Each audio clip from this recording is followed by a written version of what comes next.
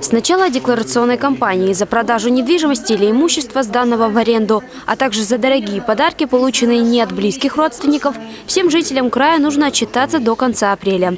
Декларации подают активно, но пока не все. Впрочем, куда острее стоит вопрос по новшествам, которые затрагивают мелкий бизнес, точнее предпринимателей и торговцев.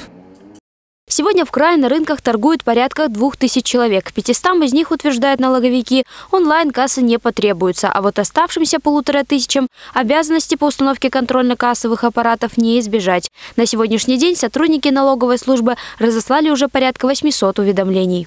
То есть мы привязали каждого торгующего к конкретного его а, обязанности и отслеживаем уже в электронном режиме.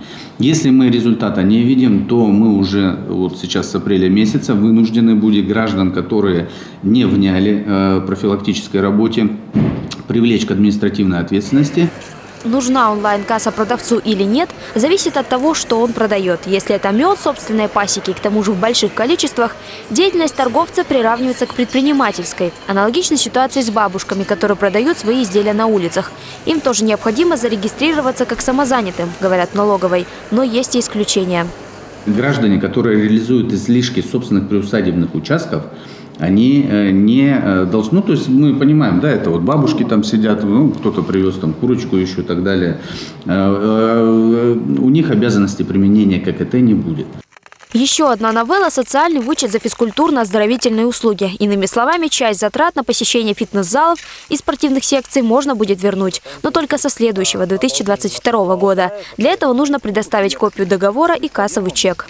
Мы как рекомендуем? Вы сейчас уже, если услуга у вас это есть, вы востребованы, несете расходы, уже договора подбираете и платежные документы, и заявите на будущий год. По спортивному вычету вернуть можно будет 13% от расходов, но их лимит не безграничен. Максимальная сумма – 120 тысяч рублей. К слову, получить такой налоговый вычет можно будет как на взрослого, так и на ребенка.